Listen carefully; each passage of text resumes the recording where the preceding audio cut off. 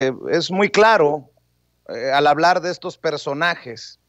Déjeme recordar aquel filósofo copetón que teníamos de presidente que muchos eh, no queremos recordar, pero que por sus frases eh, filosóficas, nótese mi sarcasmo, su secretario, aquel que dijo que ningún chile les embona. Pues así están algunos, ¿no? les reclaman a ustedes en la Secretaría de Seguridad que no hacen lo suficiente para proteger al ciudadano.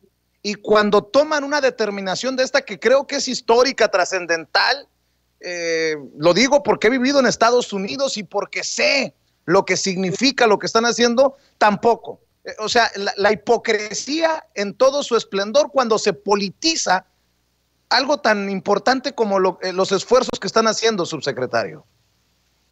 Pues sí, realmente yo creo que todos tenemos que contribuir a la seguridad hay un tema, Vicente, que es la responsabilidad eh, de las propias empresas.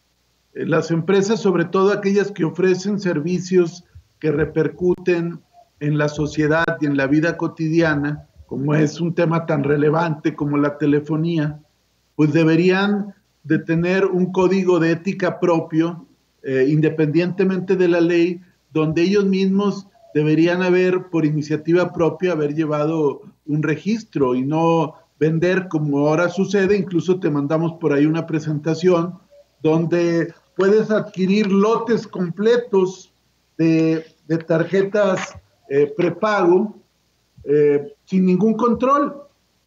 Eh, se venden en, en diferentes plataformas de manera totalmente abierto y esto implica que que un solo individuo puede adquirir en el anonimato decenas de chips sin, saber exactamente qué uso se les va a dar. Y esto se ofrece en plataformas tales como, como Marketplace de Facebook o Mercado Libre u otras, donde ya venden lotes de tarjetas SIM.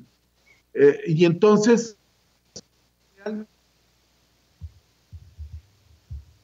Entonces, ¿qué nos decía subsecretario? Por ahí lo perdimos. Eh, la privacidad de los datos, ni, ni de repente les interesó mucho eh, la protección de, la intimidad. No, lo que están defendiendo es un modelo de venta. Y, y aquí nosotros estamos defendiendo un modelo de seguridad, porque no es posible que el espectro radioeléctrico de los mexicanos sea un hoyo negro donde se pueden hacer llamadas eh, de, extorsión, de secuestro, o los, o los delincuentes tener una infraestructura en los hechos de comunicación que se escuda precisamente en el anonimato.